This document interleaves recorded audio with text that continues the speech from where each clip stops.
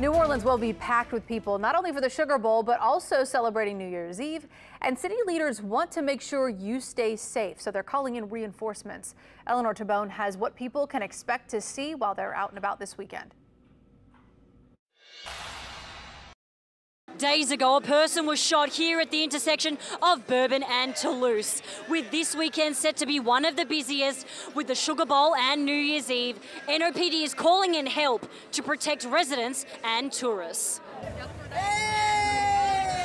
We have a heavy foot vehicle and traffic um, presence in that area and around the quarter. Interim Police Chief Michelle Woodfork says NOPD is beefing up its patrols as the city's population swells this weekend. More than 250 additional officers and 25 state troopers will patrol the French Quarter and downtown this weekend. Folks out there um, who are violating with weapons or any other um, crime, we're going to take police action. We're going to um, do what we have to do. New Orleans is on track to be the deadliest city in the nation this year. From just Wednesday to Thursday this week, there were at least 10 shootings and one person died. The OPCD has elevated to level two staffing. That means that we have doubled our staff at 911 to handle these calls. But some tourists are completely unaware of the city's spiralling crime problem. Two days ago, one person was shot at this intersection right here. Does that concern you?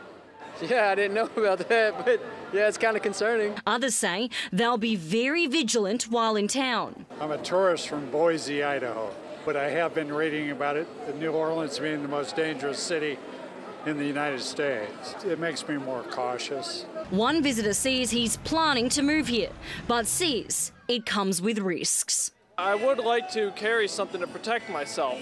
You know, it's a tragedy that's the case. Revelers are also urged not to drive drunk, and officers will be watching the roads this weekend.